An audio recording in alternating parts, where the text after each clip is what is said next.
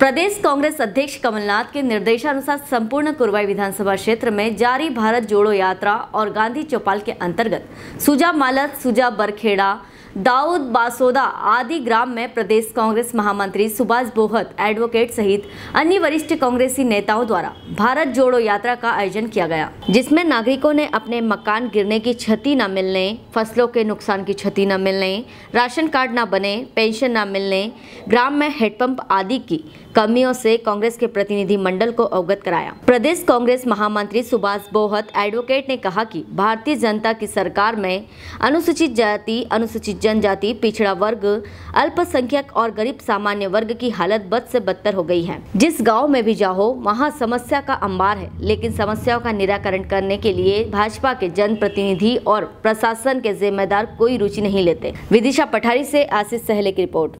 जिंदाबाद जिंदाबाद। कमलनाथ जी, जिंदाबाद। कमलनाथ जी, जिंदाबाद। कमलनाथ जी, संघर्ष करो।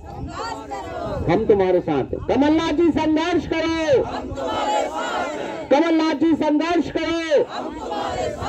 कमलनाथ जी जिंदाबाद। कमलनाथ जी जिंदाबाद। Congress party.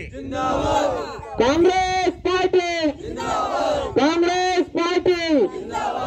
सम्माननीय साथियों हेलो फ्रेंड्स आप देख रहे हैं हमारा channel S W twenty four news हमारे सारे वीडियो सबसे पहले देखने के लिए आप हमारे चैनल को सब्सक्राइब करें और पास में लगे बेल आइकोन को दबाना बिल्कुल भी ना भूलें।